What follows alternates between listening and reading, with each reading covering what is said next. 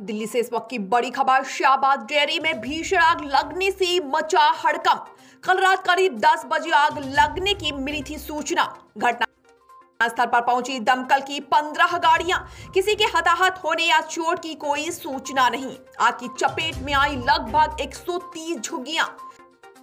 दमकल की गाड़ियों ने भीषण आग पर पाया काबू। दिल्ली के शाहबाद डेयरी में देर रात लगी थी आग। जी हाँ ये इस वक्त की बड़ी खबर दिल्ली से आ रही है। इंडिया ट्वेंटी लाइव टीवी पर इस वक्त की आप बड़ी खबर देख रहे हैं। शाहबाद डेयरी में भीषण आग लगने से मचा हड़कम कल रात करीब 10 बजे आग लगने की मिली थी सूचना। घटनास्थल पर पहुँची दमकल की 15 गाड़ियाँ। किसी के हताहत होने या चोट की कोई सूचना नहीं। आग की चपेट में आई लगभग 130 झुग्गियाँ। दमकल की गाड़ियों ने भीषण आग पर पाया काबू। दिल्ली के शाहबाद डेयरी में देर रात लगी थी आग। जी हाँ ये इस वक्त की बड़ी खबर। शाहबाद डेयरी में भीषण आग लगने से बचा हड़कम आग की चपेट में आई लगभग 130 झुग्गियाँ।